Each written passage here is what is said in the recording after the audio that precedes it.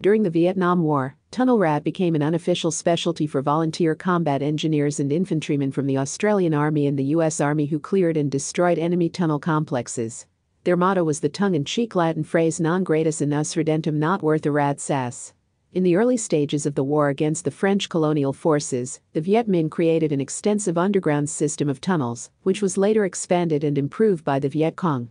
By the 1960s, the tunnel complexes included hospitals, training areas, storage facilities, headquarters, and barracks.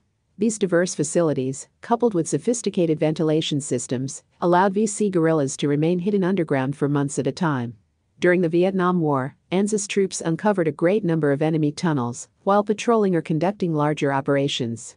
The men of the 3 Field Troop, an Australian combat engineering unit that served in Vietnam from 1965 to 1966, have made a convincing argument that they were the first Allied troops to enter the tunnels. Tunnel rats were given the task of destroying them, gathering intelligence within them, and killing or capturing their occupants, often in conditions of close combat. Typically, a tunnel rat was equipped with only a standard issue M1911 pistol or M1917 revolver, a bayonet, a flashlight, and explosives. Many tunnel rats reportedly came to dislike the intense muzzle blast of the relatively large .45 caliber round, as the .45 seconds loud report could often leave one temporarily deaf when fired in a confined space. Consequently, some preferred to clear tunnels armed with a .38 special revolver equipped with a sound suppressor and other non-standard weapons. A few of the US-ordered World War II era suppressed high-standard HD.22 automatics made their way into tunnel rat hands. But these weapons were very few in number and wanted by a number of other special units. Personal weapons were used by the rats, ranging from .25 caliber automatics to sawn-off shotguns. Besides enemy combatants, the tunnels themselves presented many potential dangers to tunnel rats. Sometimes they were poorly constructed, and they would simply collapse tunnels were often booby trapped with hand grenades, anti personnel mines, and punji sticks. The VC would even use venomous snakes, placed as living booby traps.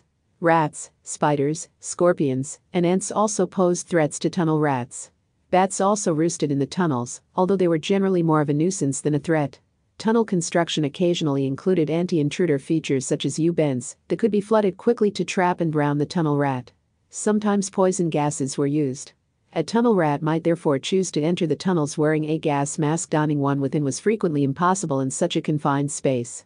According to U.S. tunnel rat veterans, however, most tunnel rats usually went without gas masks because wearing one made it even harder to see, hear, and breathe in the narrow dark passages. Tunnel rats were generally men of smaller stature, 165 centimeters, 5 feet 5 in, and under, who were able to maneuver more comfortably in the narrow tunnels. Tom Mangold and John Penycate, authors of one of the definitive accounts of tunnel warfare during the Vietnam War, reported that the U.S. tunnel rats were almost exclusively soldiers of European or Hispanic descent, many of whom were Puerto Rican or Mexican American.